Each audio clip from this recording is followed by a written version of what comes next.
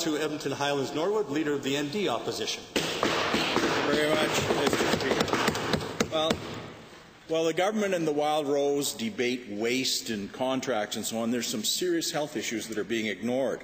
This government has ignored the warnings of scientific experts who have alerted us to the negative health and environmental effects downriver from Fort McMurray.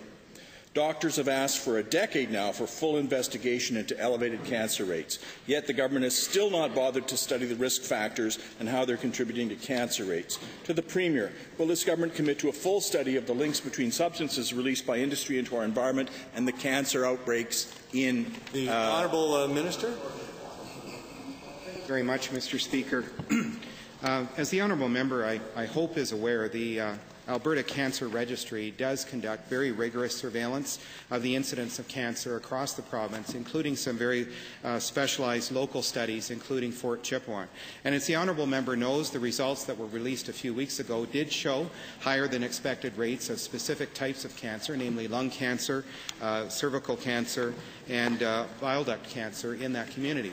But as the honourable member should also know, the Chief Medical Officer of Health has laid out uh, a plan which he is hoping to have the opportunity to discuss with the community to address risk factors. Thank you. For supplemental. Thank you very much, Mr. Speaker. Well, those sorts of uh, statistical analysis uh, does not do anything for the people in Fort Chipewyan. It's their health that needs to be studied and the link between their health and pollution caused by industry farther upstream. So will the health minister commit to a clear, comprehensive study of the link between emissions and pollution upstream of Fort Chipewyan and the clusters of cancers that have been found there? Honourable Minister. Well, Mr. Speaker, I will agree with the honourable member in that it is their health, it is the health of the people that live in those communities that we are talking about here today.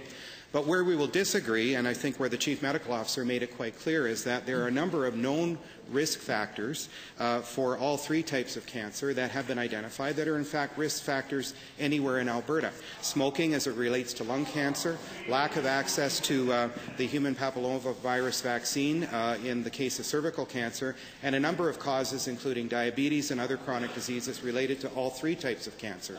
Mr. Speaker, the Chief Medical Officer is committed to work with the community to address these risk factors and to discuss Final supplemental. Mr. Speaker, this government has a long history of attempting to ignore and wish away impacts on our water, on our environment, and on human health as a result of oil sands development. There's a long, long record of that. You do it over and over again, and the minister's doing it again. He's talking about lung cancer, he's talking about smoking. These are clusters particular to this area. People smoke all over the province, Mr. Minister, not just in Fort Chipewyan. What's your answer?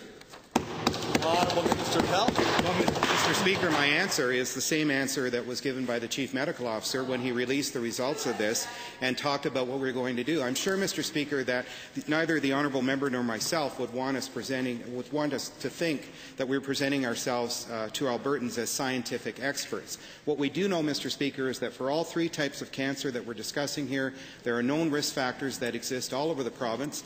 Uh, very thankfully, the uh, the results this year did not indicate any increase in the prevalence of childhood cancer. And, Mr. Speaker, as the Chief Medical Officer has said, he's more than willing to sit down and talk to the community about measures that can be